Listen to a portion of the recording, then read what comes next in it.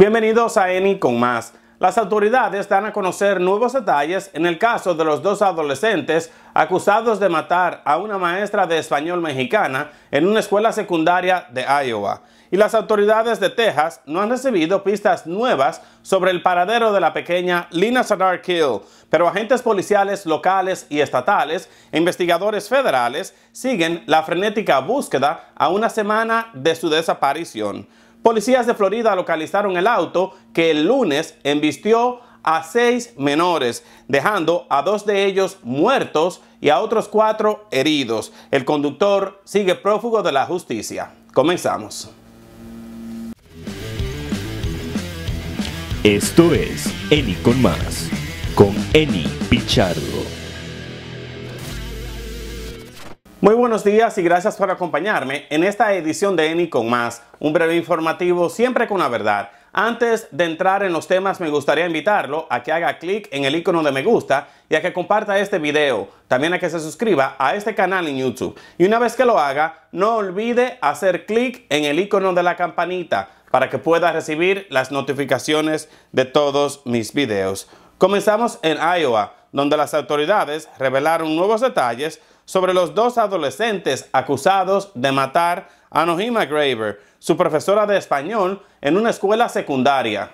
Graver, de 66 años, fue reportada como desaparecida el 2 de noviembre y sus restos fueron encontrados más tarde ese mismo día en un parque.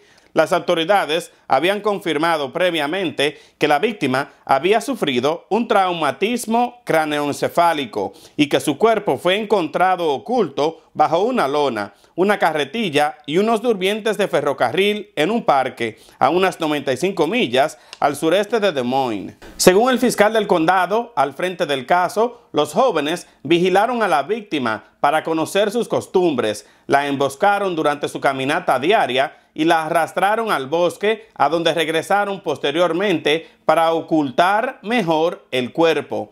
Estos detalles adicionales se revelaron en una presentación del 23 de diciembre en el caso contra Jeremy Goodell, de 16 años. El joven está acusado de asesinato y de conspiración para cometerlo, junto con su compañero de clases, Willard Miller, también de 16 años. Miller y Goodell están detenidos con una fianza de un millón de dólares en efectivo en centros de detención de menores a la espera de su juicio. Los dos se han declarado inocentes. Las autoridades no han dado a conocer el motivo del asesinato. Ambos adolescentes asistían a la clase de español de Graver. Los abogados defensores han pedido al juez que traslade este caso a un tribunal de menores y las audiencias sobre estas solicitudes están programadas para el 27 de enero. El fiscal, por su parte, ha dicho que juzgar a Goodell como adulto es el único plan apropiado porque si es procesado y condenado en el sistema de tribunales de menores,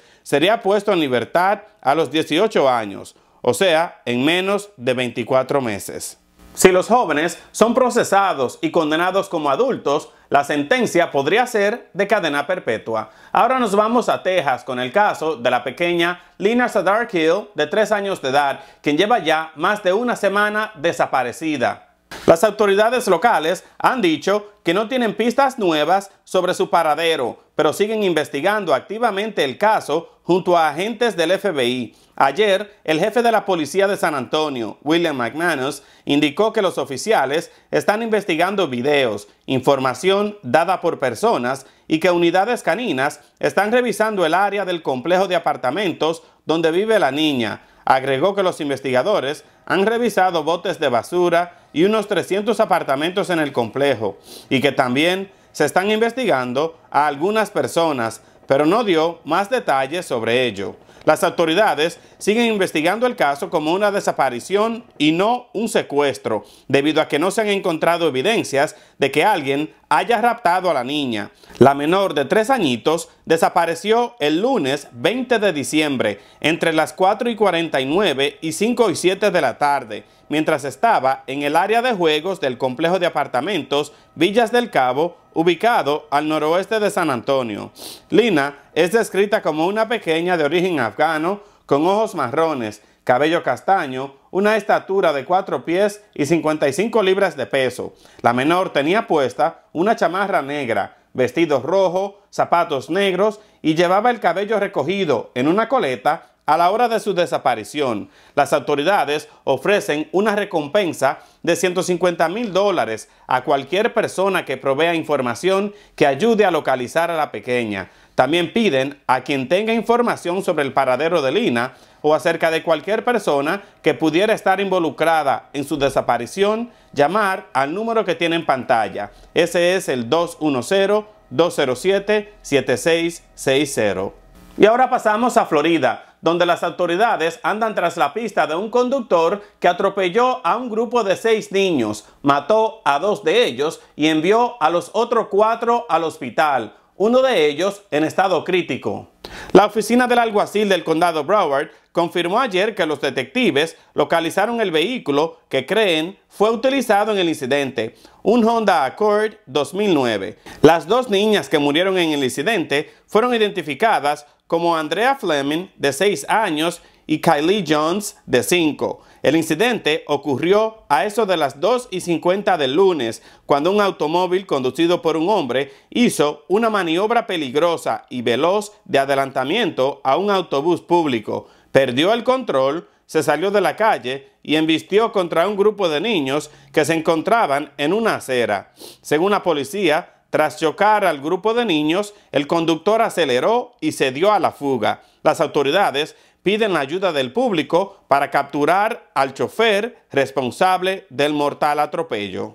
Nosotros en Enicon Más estaremos pendientes de todos estos casos. De esa manera termino esta edición agradeciéndole su tiempo y su confianza, invitándolo a que me siga en todas las redes sociales y a que se suscriba a este canal en YouTube. Y una vez que lo haga, recuérdese activar el icono de la campanita para que pueda recibir las notificaciones de todos mis videos y mantenerse al tanto de temas súper importantes para nuestra comunidad deseándoles a todos un feliz y próspero año nuevo.